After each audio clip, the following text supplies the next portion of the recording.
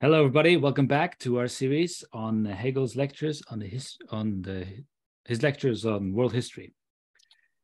Yes, we are continuing our um, chapter now on China, and this is going to be the second episode concerning China.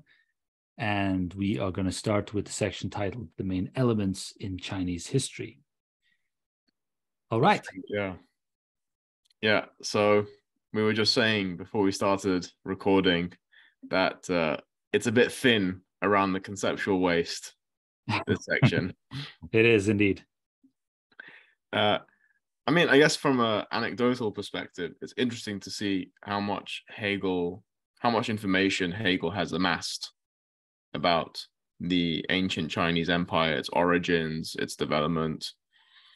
Um, the editors of these lectures cite two main works that Hegel seems to be referring to repeatedly.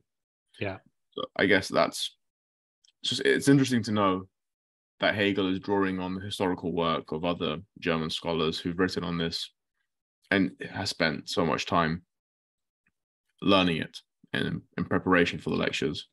Oh yeah, well he didn't have much of an option, right? He could either read accounts made by others or other scholars, right? Or yeah. he'd go over there himself. Yeah, yeah. exactly. So the main elements yeah, you were going to say something. Well, in contrast to many, you know, other famous big philosophers, Hegel did travel a little bit. You know, it wasn't like Kant yeah. stuck in Königsberg all his life. He yeah. he moved around, but not for for this for this one. No, no, he didn't go as far as China. so I guess I mean for me, the first really significant point comes on page two twenty, uh, in the beginning of the the second paragraph where Hegel sort of makes the point again that Chinese history involves few external relationships, and accordingly, these relationships offer little in the way of anything universal. So he's really repeating this aspect of the immediacy of uh, of China, and again, just echoing what was said in the previous episode on China where Hegel was, I think, where we, we we sort of uh, agreed that Hegel was doing that there as well. Uh, this seems to be a significant aspect of of uh, of China for Hegel as the mm-hmm. first stage in world history. That it has this form of immediacy, yeah. and it's entirely self um self-relating in a way. Yeah, yeah. It's internally developing, right? What China, yeah. ancient China had in terms of its society and statehood, it developed through itself, right? Yeah. So in a way, it sort of set out its own traditions and institutions and all of that, which I think leads into why he later talks about how conquerors kind of failed to integrate with the rest of the Chinese society. Interesting, right? yeah. Right, because they had to establish new cities elsewhere from the other uh, major hubs or uh, traditional capitals. They established new ones, and they segregated themselves away from the um, their subjects. Yeah, which well, su- yeah. suggests to me their inca- incapacity of, of integrating with the Chinese, or if it or, or of the Chinese kind of being difficult to integrate with, right? Yeah, maybe because they have this rich developed history uh, of their own. That's a really good way to make sense of that because I was wondering why are we reading about the movement of capitals every time China's been conquered by an, a foreign invader. But that's yeah. a very nice reading of it. Yes. Um, I was also asking myself, why is Hegel talking about the government struggle with the rivers and marshlands just a bit further up, but before uh-huh. we talk about the movement of capitals? Yeah. And I didn't think it was related to this thing, to the immediacy of China. It just it struck me as some kind of note on you know how this kind of bureaucratic activity requires a big state and it requires organization and this is the kind of thing you would expect from one of the nations in world history that it's struggling to control the environment around it and to bend it to its will and to try and use it as effectively as possible for its own prosperity. Yeah, I suppose that's uh, you know, it's geography is a factor for all states, and it's yeah. kind of the the the zero level point at which just the the thing a state has to deal with immediately. And despite ancient China having a lot of um, bonuses in terms of where they start, right? A lot of things that uh, facilitate um, rapid development, such that they can spend time working on institutions and history and so on, instead of having to focus everything on food. There is still, nonetheless, some part of the geography that does need quite a bit of work. Yeah. Yeah, exactly. And maybe like large scale work. Right. You imagine, and then he talks about canals and he talks about the building of the Great Wall of China. And he doesn't really explain why he's mentioning all these things, but you get the impression that he's pointing at the scale of organization of the state, of the state. Yeah. Well, um, yeah. Pre- previously, we were thinking about how the land facilitates and offers opportunities for uh, the people living there, mm-hmm. such that if the you know the land is tough or or stuff like that, it's going to be hard to develop a sophisticated state, you know, over there. Um, mm-hmm. So one of the reasons why we have um, ancient states in the way we know them is because that there was something in the geography that aided them in that development, sort of helped them out made things easier that were elsewhere more difficult. But what we flip it around and also think that, well, some, some things um, are not easy, are actually incredibly hard, but can be sort of unlocked with enough organization and tech- technological advancement mm-hmm. so that for anyone else living in in a certain area they would be totally impoverished but with people coming in with the kind of right insight and organization and technology, they might just turn things around and turn that place into a kind of like a really bountiful and easy place to live. But it right. required that step of large scale organization. Right. Yeah. Which you might think requires a state which recognizes itself as a state, uh, people that recognize itself as a people, yeah, which is one because just that... because of large scale organization requires exactly. that. You know, if you're uh, dealing with hundreds and thousands of people working at something in a concert, yes, there must be some state organization. I think at that level, otherwise, yeah. just wouldn't happen, right? Exactly. Yeah. Right. So that's that's kind of how I understood this sort of section, uh, with the exception maybe of all the yeah, pretty much this section as Hegel giving us examples of the organization of the state and sort of they're leaving their mark on their environment and on their neighbors and yeah And he yeah. concludes the section by saying so the history is a history of emperors and their households i mean so part of me was wondering towards the end of this to what extent we should be trying to find conceptual material in this thing maybe this is just an introduction into the main elements of history of China. So you just, you know, you're about to give someone a conceptual analysis of a topic, and you're like, well, before we get into that, these are some of the the main historical markers that you need to know about this topic before we get into it in more abstract terms. Yes, the preface needs a preface. Maybe it's just that, yeah. Yeah.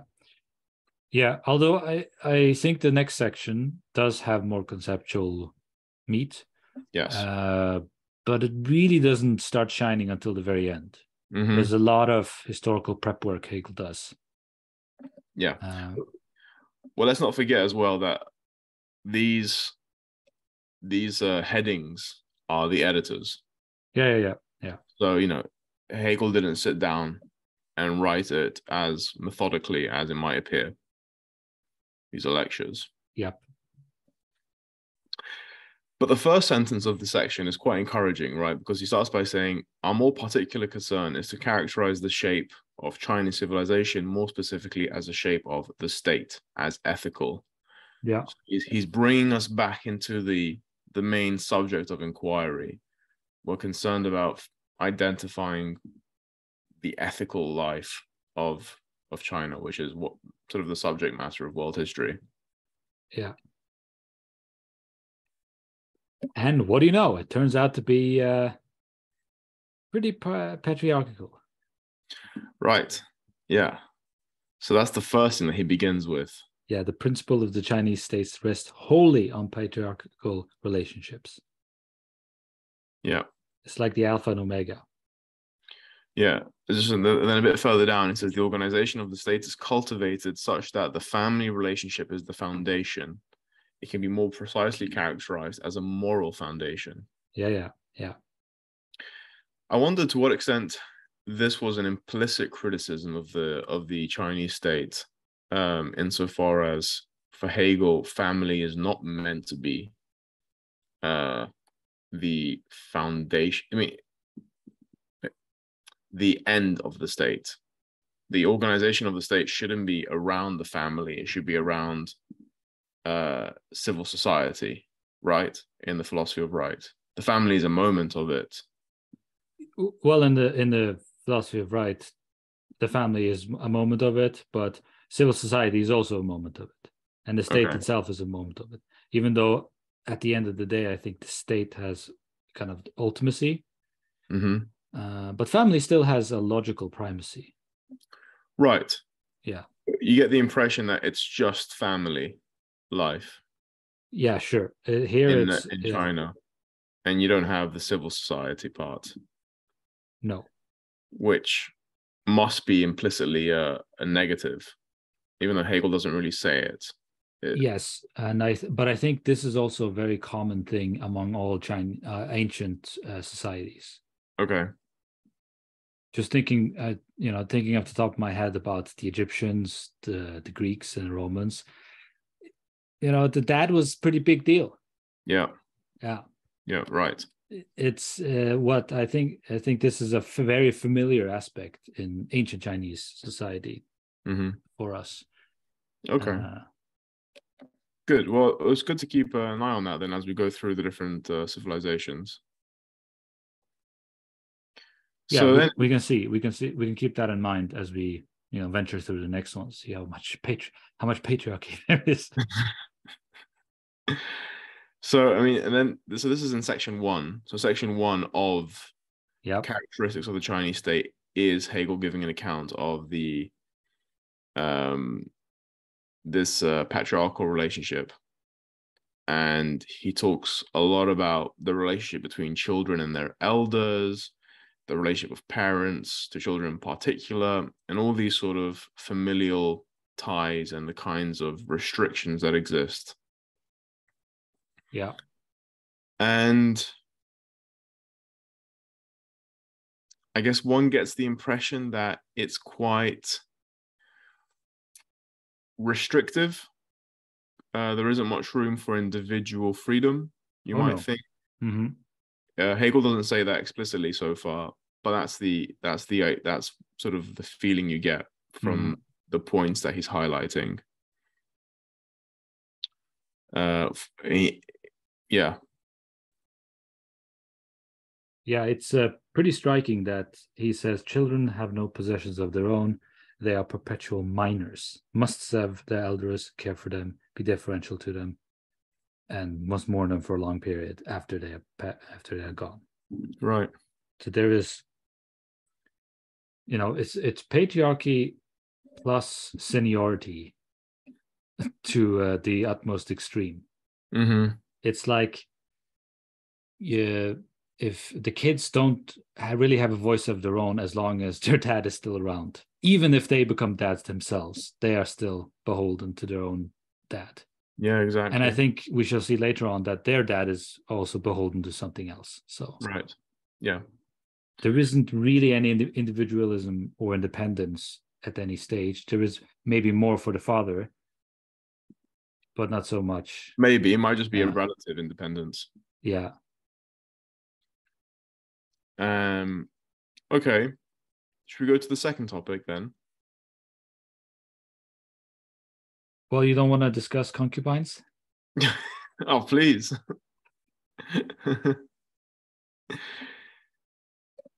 In so, China, so, polygamy is not allowed. No.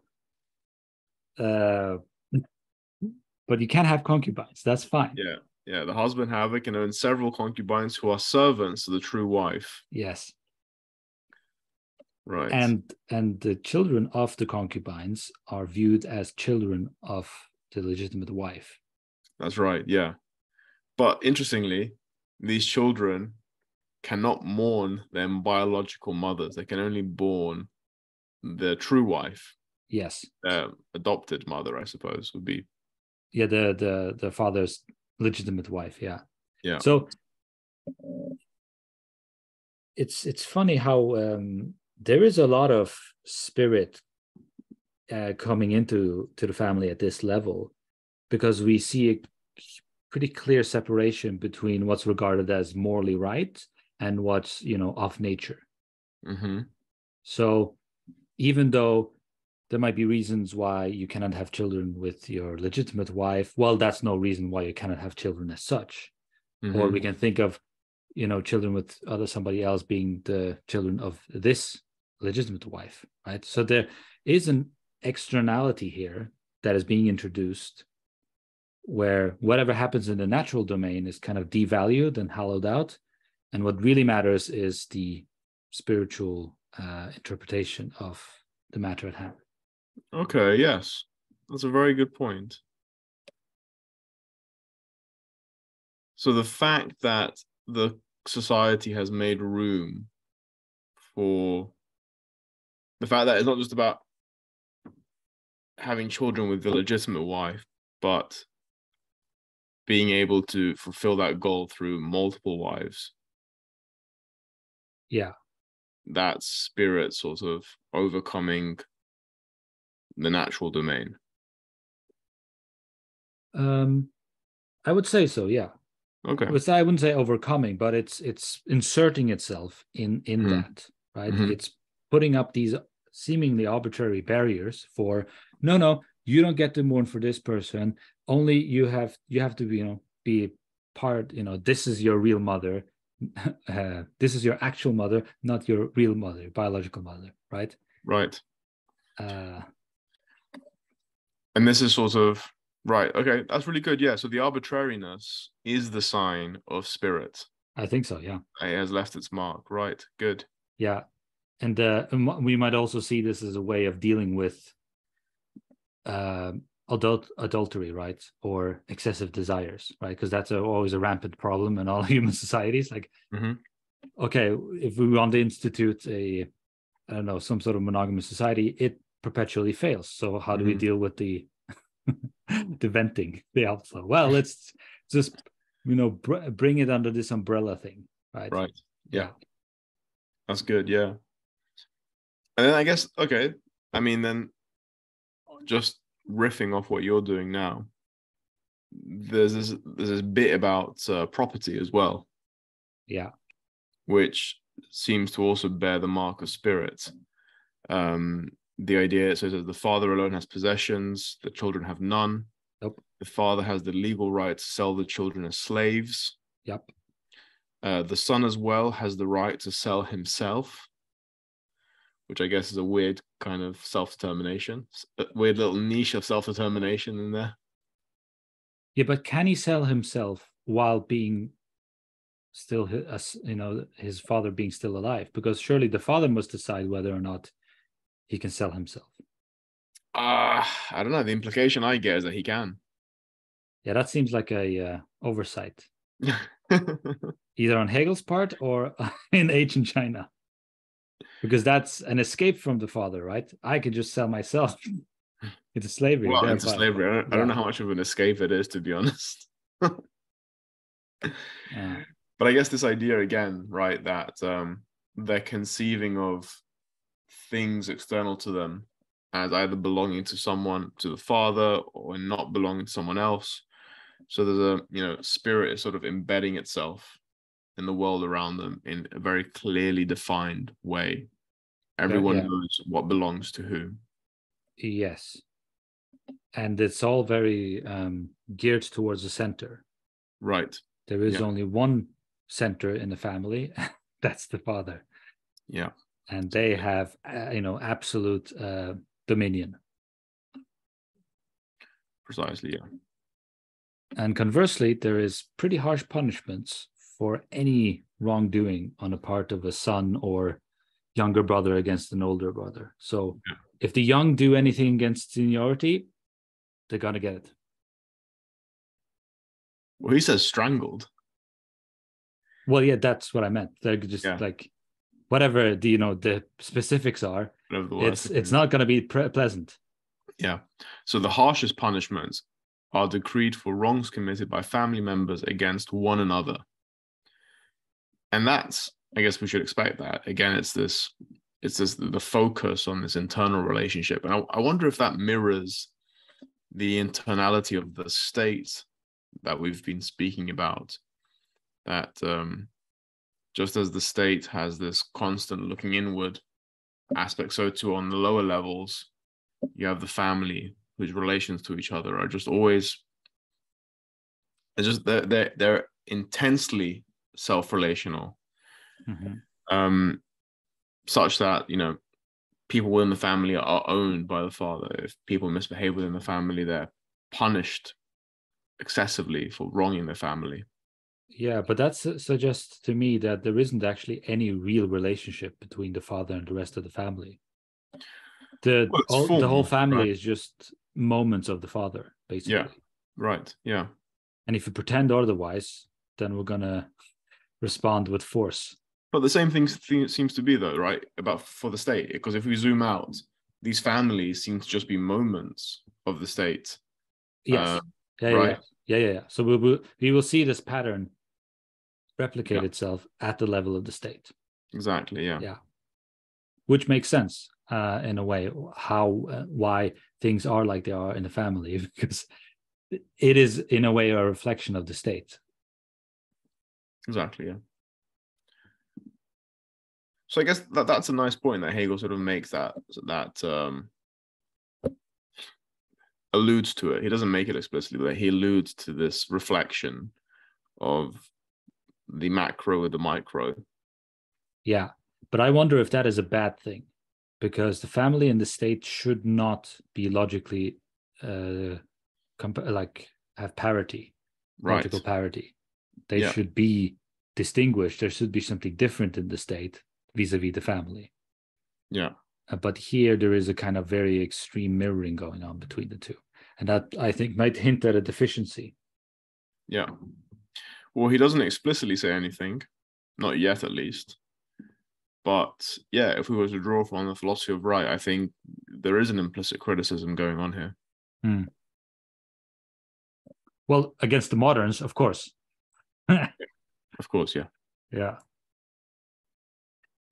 And then there's the stuff about graves and burials, mm-hmm.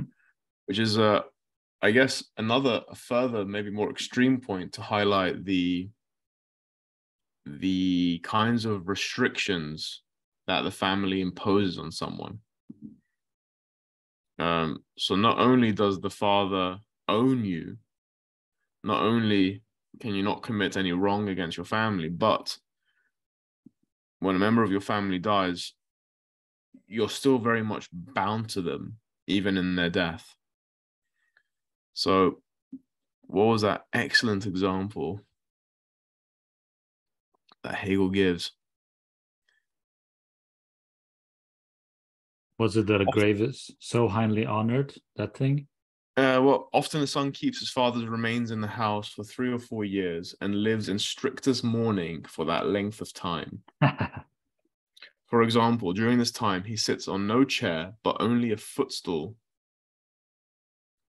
Just as important as the burial is the upkeep of the gravesite and the annual visit to it. This demonstrates one respect, sorrow, and gratitude and again, this um, he says some more stuff as well about burial. This just shows the enduring strength of the family as the glue of the society. Yeah. Even in death, it's it's what is regulating people's lives. Yeah. And I suppose also it's a one way in which spirit can respond against natural death. Right. Right. It's yeah. like knowing that you will be remembered and revered by your family uh, might be comfort, right, in your life. So you don't think about death because it's yeah. not a not that bad of a deal. Indeed, yeah.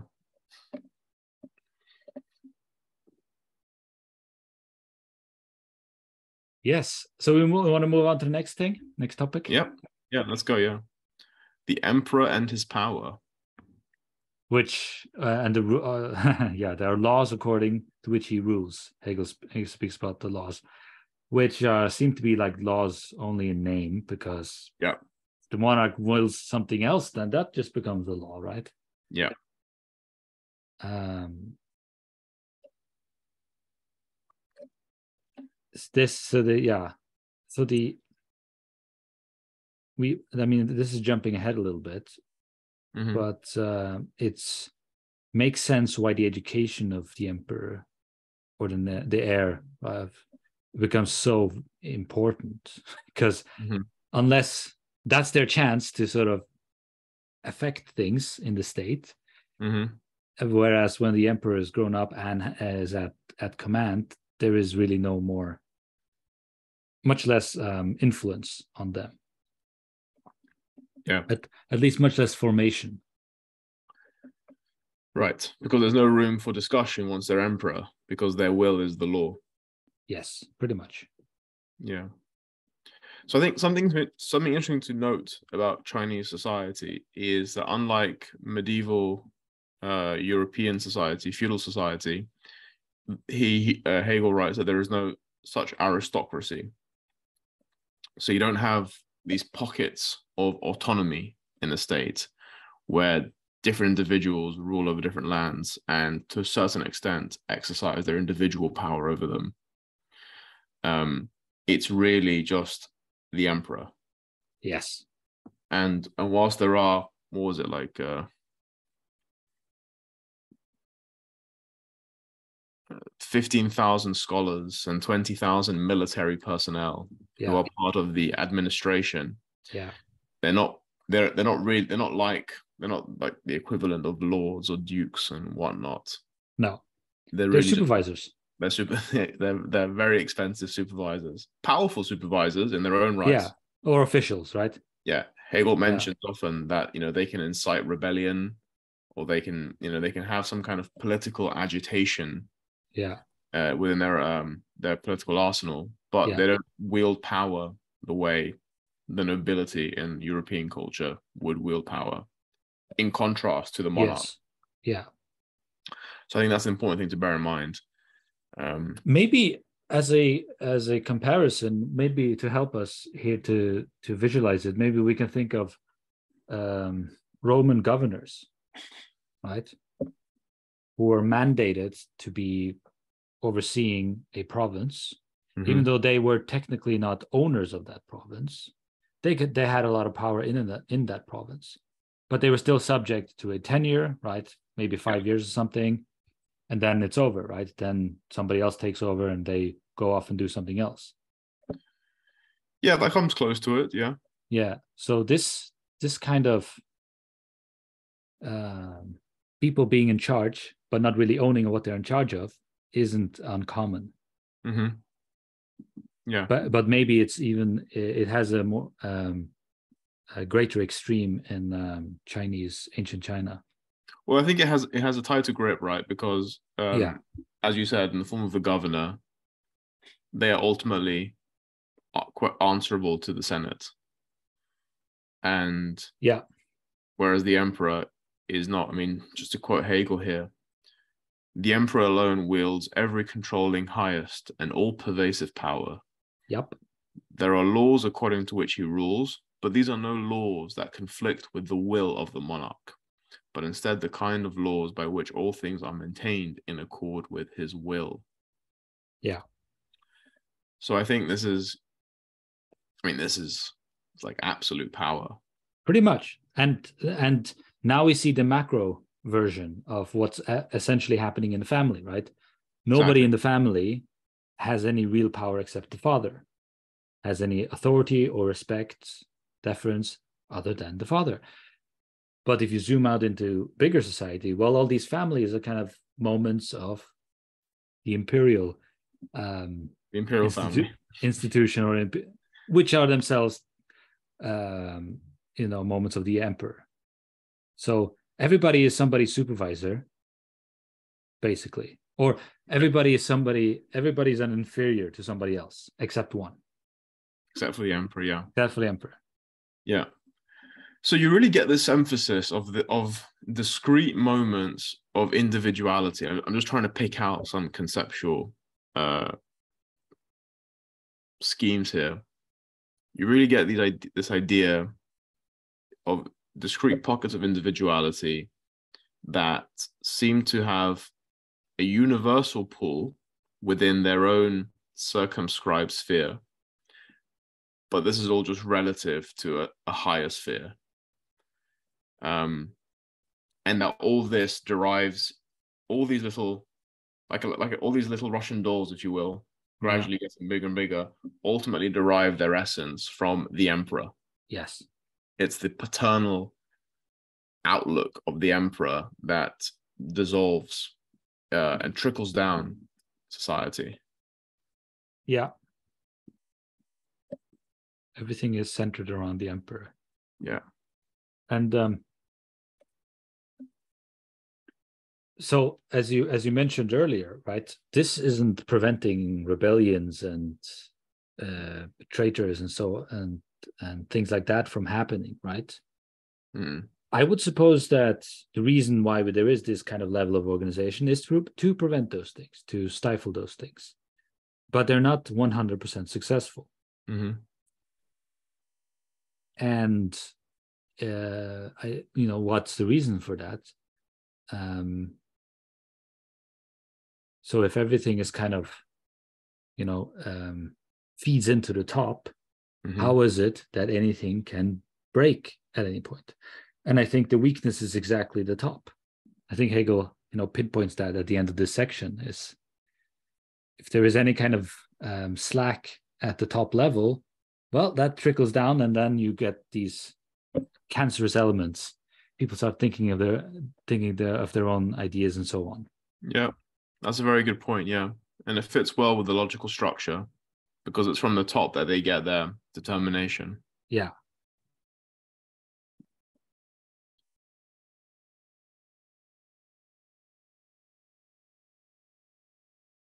Um, uh, so just more more on that on the measures against um, rebellion and corruption and so on mm-hmm. there does seem to be a lot of thought put into that because these this uh, scholarly class, the Mandarins, are not allowed to exercise authority in which their family live, and yeah. they might not acquire property where uh, he holds office. So these are very clever means in which kind of to regulate the um, ambition of somebody, right? Don't get comfortable with your job because you're not supposed to do it for your own sake. You're supposed to do it for the service of the emperor, basically. Yeah.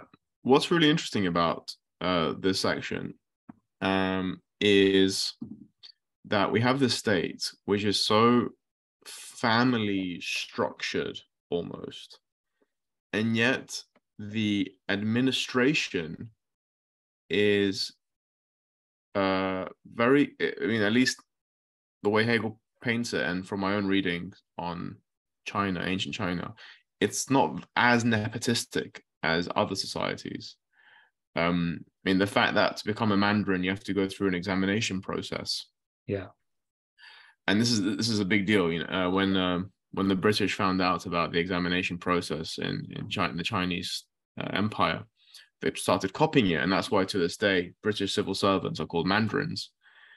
Um, really? It's yes, yes. Shit. Um, high-ranking British civil servants, of course. you know the very yeah. best. yeah, uh, and so it's interesting that in the administration you have this almost meritocratic, uh, not explicitly nepotistic structure, uh, that's designed to organize society and to avoid, as you say, you know, self-interest really, um, to try and keep the peace by avoiding self-interest, by sidestepping the problems of self-interest when you have people in power. Yeah. And at the same time, it's a society that's so structured around the family as well. I mean, yeah. you could easily imagine a situation where such a highly, such a society could have easily been bathed in nepotism and corruption. Yeah. Uh, but it's it's interesting that there is this opposition, this contrast between the way the administration is selected and with the way that the rest of society is organized. Yeah, it's most it's almost like they split the whole issue of self-interest and um, personal ambition and uh, person you know inclinations into two. So in your job for the state, you are a perfect servant. You do yeah. your duty diligently, but at home, you can get to be the emperor and do as yeah. you like. So they just like a, a they separated the two. They put them into extremes. Yeah, yeah. I mean, Hegel doesn't say this explicitly. But that's what I'm getting out of this. Yeah. So at work, you're uh, you're Marcus Aurelius. When you come home, you turn into Caligula. God help us. and that way is a nice kind of dialectical reciprocity between the two element, two extremes, because there's nothing, there's no nothing lacking in your life because you get to you get to fulfill to fulfill both both ends. Right. Yeah. Well, exactly. Presumably, yeah, these mandarins would have their family lives where they would be probably beholden to their fathers. I, I suspect. Mm-hmm. Um,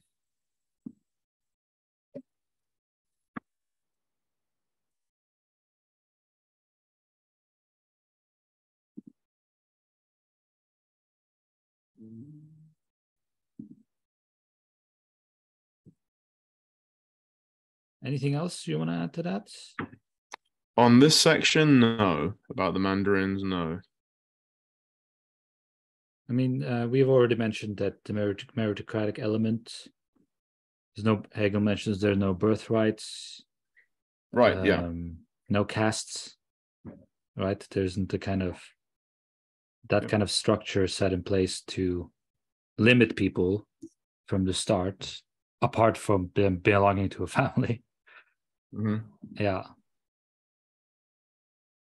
Now, as we've alluded to already, it's the um, since everything is kind of feeds upwards, and all authority and self determination is gained from from the top, then that top element becomes extremely important. And in effect, you know, morals, uh, morality kind of has its source from the top because mm-hmm. if the emperor is um the, his will aligns like with the law well then their will is basically morality in a yeah. way and the, the the law reflects their morality yeah so it becomes really important that their morality is is uh, you know uh, good and proper yeah. which is paradoxical you know once you think about it but let's just mm, put that why? under the rug why well if somebody's will well if the law aligns with somebody's will mm-hmm. right and there cannot be a, a, distinction between the two at the highest level mm-hmm. then the education of that will doesn't matter in effect because that will just is what's moral why would right. you want to change that will? Mm-hmm. The only reason why they would want to educate anyone or this this will is because they are presupposing a higher morality. Yeah. But they cannot make that explicit or admit it to themselves. Interesting. Okay. So I think right. that this is one of the parts in which like latent contradictions in ancient societies of why they are doomed. Mm. Yeah, they must have something about children though and parents because it's it's it's the child before they become emperor, right? That is that needs to be educated. Right. Yes. Um, but, but it'd be interesting. Once, it's still it's still a yeah. kind of yeah. It's it's dodgy, you know. It is dodgy. It is dodgy. Yeah. Because actually, it's the will of the existing emperor, presumably, that is going to mold the future will. Right? Because the existing emperor is the father of the future emperor. Mold in a, maybe in a certain way, but not in a day to day way. You know, mm. get learning the languages, the grammar, the various riding horses, etc. Right? So they, they probably have a legion of instructors and teachers who teach them, yeah. you know, all the all this stuff, history, etc. Mm-hmm. But maybe in terms of like statehood ambitions, yeah, they can learn that from their dad. Right. Yeah. Uh, okay, so so this is sort of the third and final important point for Hegel. This idea that the moral condition of the emperor is fundamental. Yes. Um, and this is what he discusses in this, in this final section. Sort of, he gives some examples of very successful lines of emperors. Yeah. He talks. About, I think it's the Manchu emperors as yeah. having been exceptionally successful, producing great moral emperors. Um, top level emperors. Top level emperors, yeah. Um, I mean, and then he gives examples. So uh, just on this, on this idea of a very good emperor, on page two three one at the very top, he talks about their depiction, and he says the ideal rulers are portrayed as moral plastic shapes that are all of a piece, like the artworks of the ancients. Mm-hmm. In the way that we represent to ourselves the ideals of the ancients. They are figures who express in their every feature a unity of harmony, a unity or harmony of character, dignity, circumspection, and beauty. Yes. So there's just this idea of the emperor as, as, as this ideal to strive for. Uh, they're almost not even a real person. Um, Certainly, no, yeah, yeah. It's like the uh, the uh, the ideal of the ideal ruler is somebody who is fully committed to their role. Right. If you're emperor of China, you don't get to be, you know, yourself, have your own kind of funny pastime thing or, you know, funny quirks or whatever. No, no, no. You are supposed to be a moral exemplar, and everything you do has to feed into that. So you you have to be a kind of explicit organic whole. Mm. Uh, in the way a classical artwork is a, a complete reciprocity between content and form. And that's a wonderful little tension, isn't it, at the core? That this individual yes. who is the apex of the state yes. is unable to be himself. Yes. He's sort of like a, a detached individual. He's some is in it is an individual insofar as he's the emperor. He's that the single point in which the entire essence of the state is focused. Yes but he's not himself. No, he's he's an ideal of uh, of what he ought to be. Yes, he he must be he, he his his own self has to submit itself fully to being this ideal ruler. Yeah, yeah, and he in a way he's kind of under the tyranny of wholeness because yes. he can have no part for himself. There's no there's no pastime, you know, anything like that. pastimes or pleasures outside the sphere of their occupations, as Hegel talks about, right? No, no, there's no time for that. And and this, I think, is an echo that still lives on today to, in modern states. When you think about ministers, high-ranking government official, prime ministers, you know, we we recognize that there are people that you know they might have interest and so on, quirks and so on, but they're not really supposed to in their role as mm. in the occupation. Like you know, Boris Johnson is not meant to have parties and break the law on his own, you know, uh, mm. stuff yeah. like that, right? Even though mm-hmm. as a individual, it's perfectly like understandable that stuff like that can happen. And but it's that the expectation is just like wildly different. Yeah. Uh, when it comes to uh, people high in high in the state, and I think that's these I- ideal rulers still latent in mm. our in our minds because the state itself needs to have this sacred element to it yeah. and that kind of bleeds into its uh, uh, top level people yeah I think that's particularly the case with uh, the way people think about the the late queen as well. Um, this idea that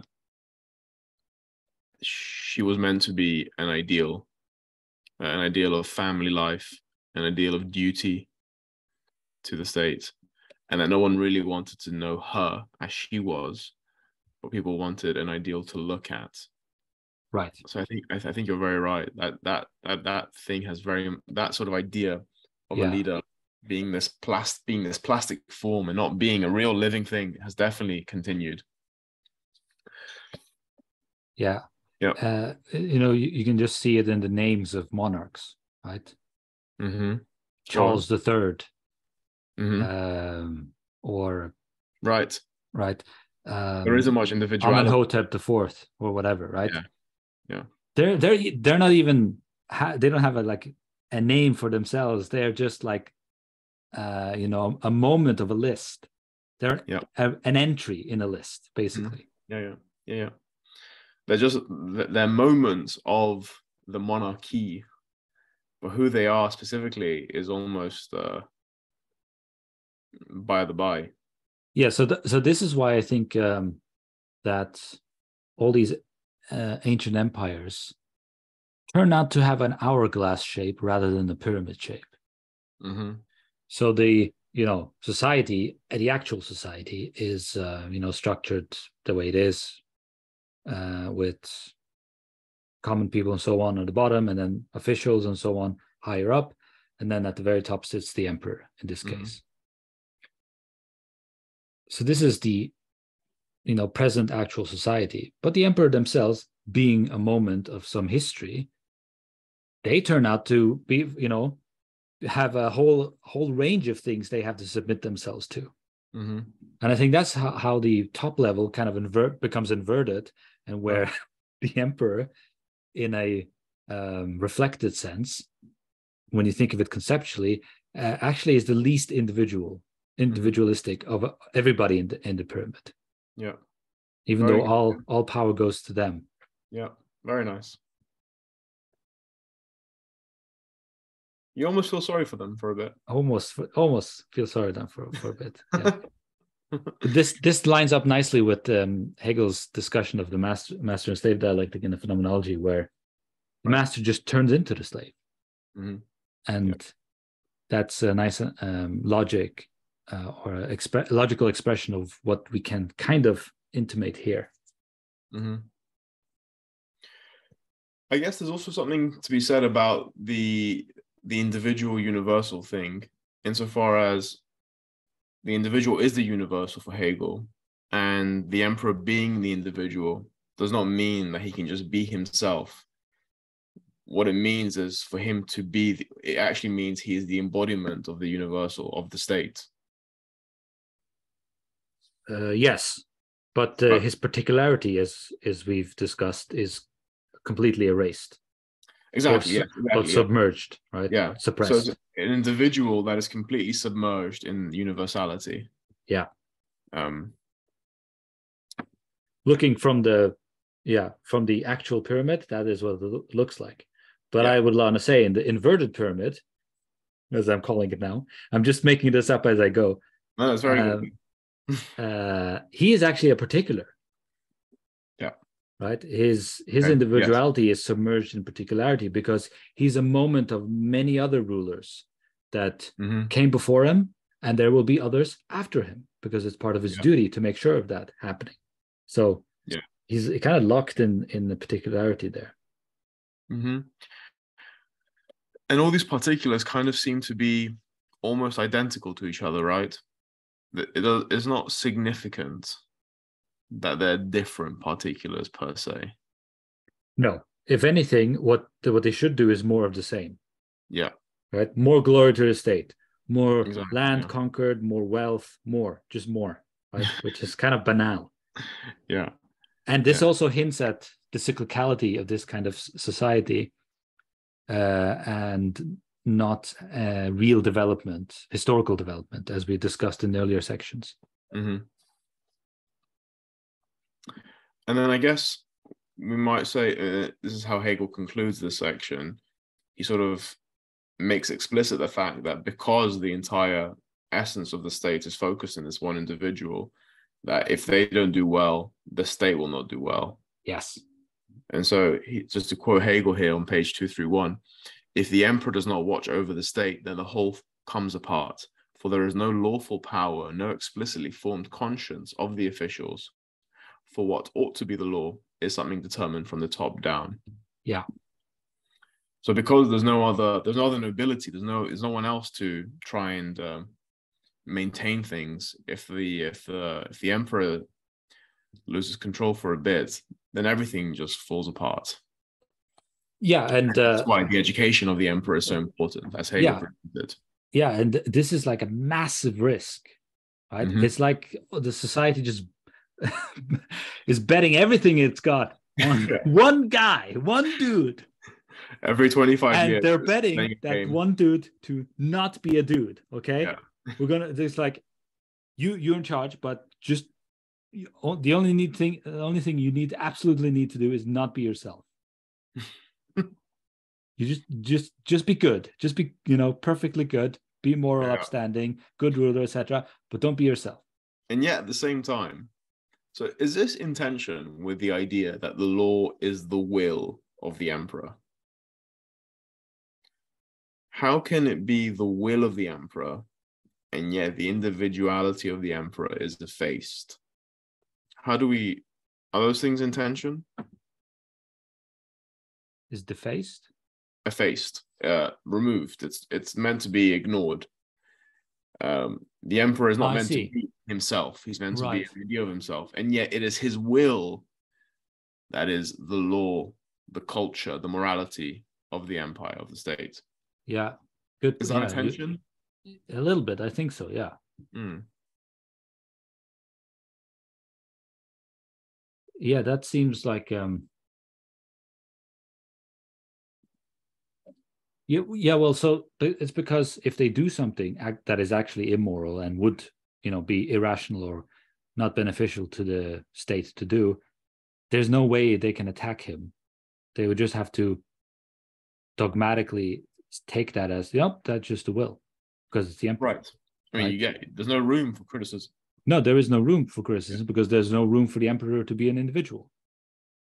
So I guess, I guess, yeah and yet they they are individuals and that it must necessarily be expressed.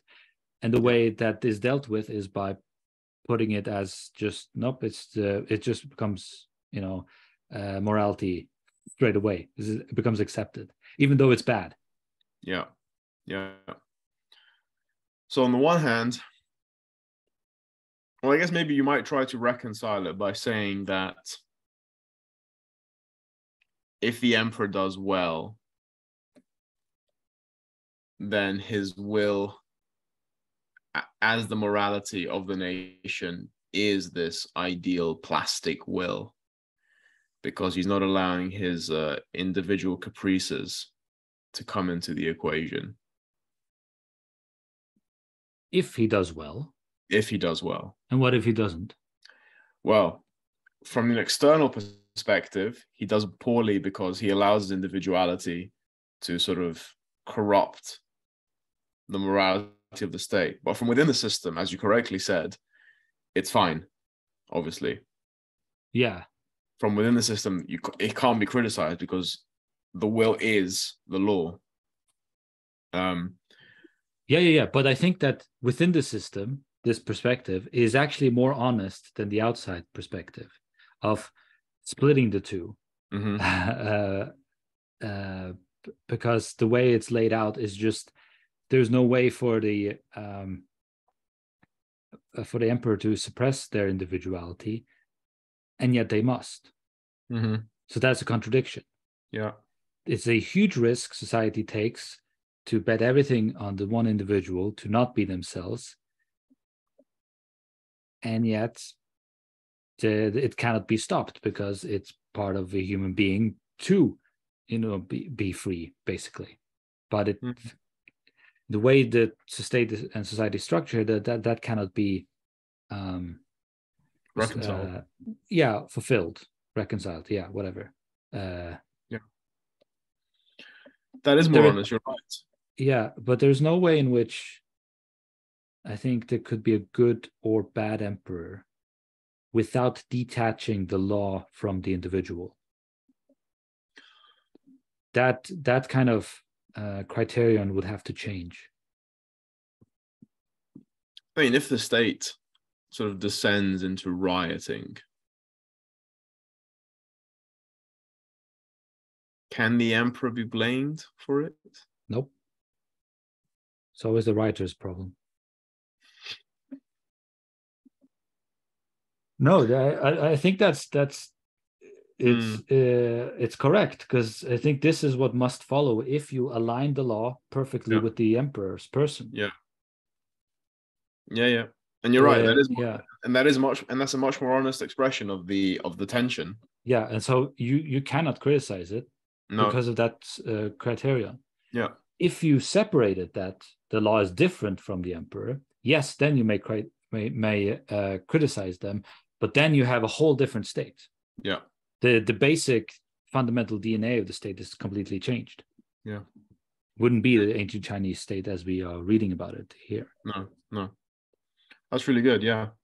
So in in in a, in the way of having the emperor aligned completely with the law is another fact uh, example of just how immediate the state is.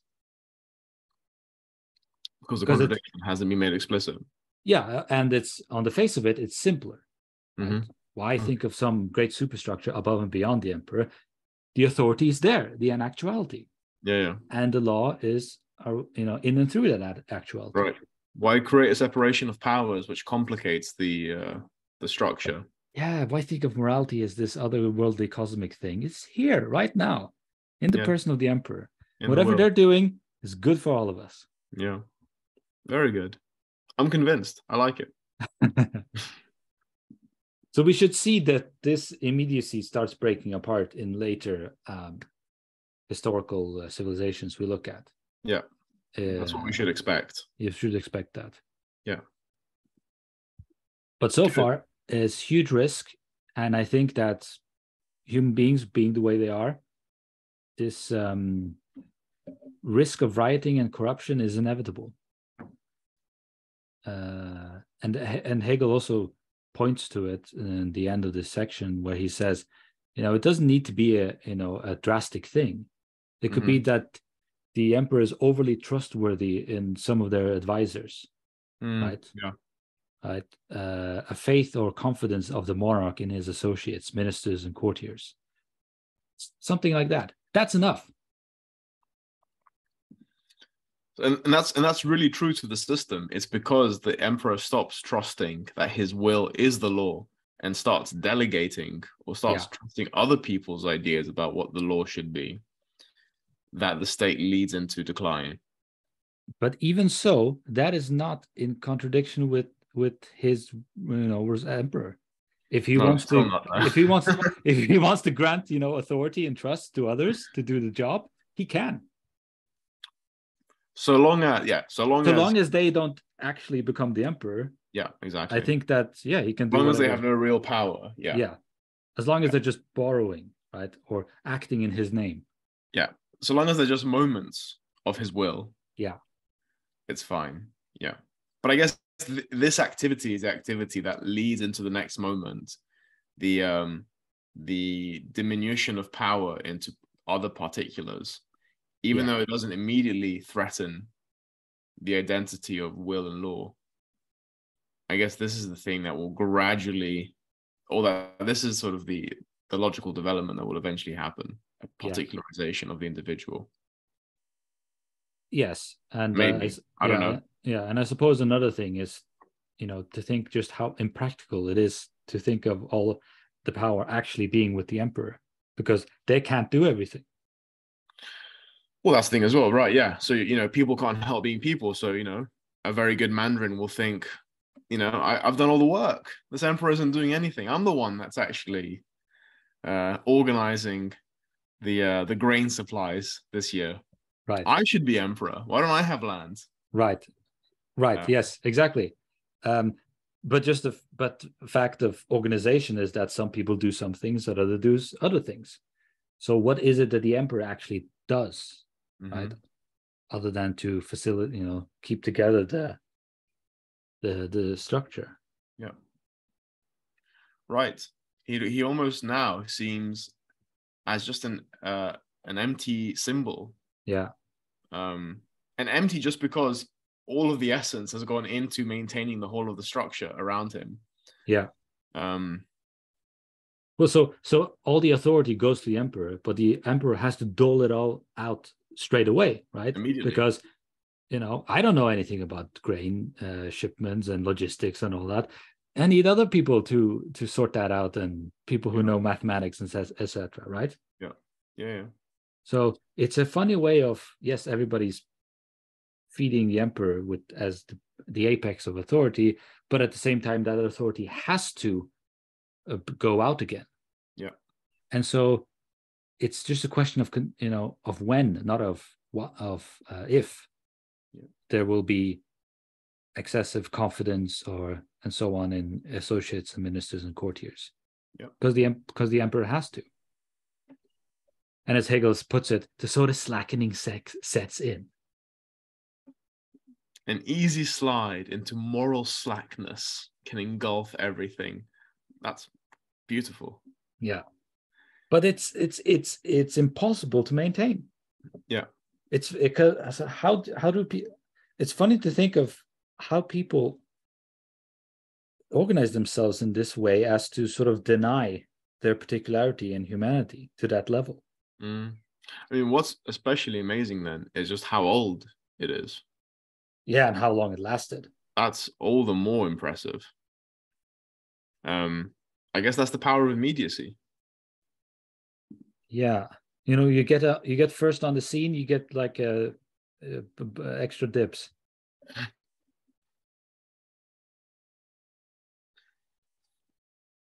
Wow. Okay. I think uh, that's all I have to say on this. Yeah, I think I'm uh, I'm good too. All right then. So for for our next, excellent. Uh, we got we got a lot more about than I expected. Indeed, we did. So next time we have uh, the exactly the moral sphere, subjective freedom yeah. and violation. So I think, um, uh, based from that subtitle, I'm guessing Hegel will dig out more of the logical consequences and implications of this.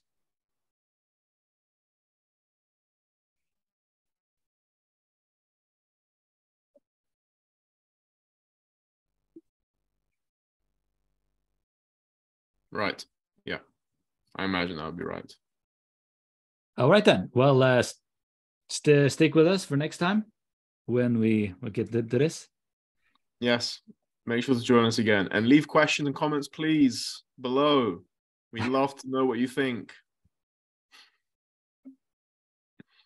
Yes, right. we we would would love to indeed.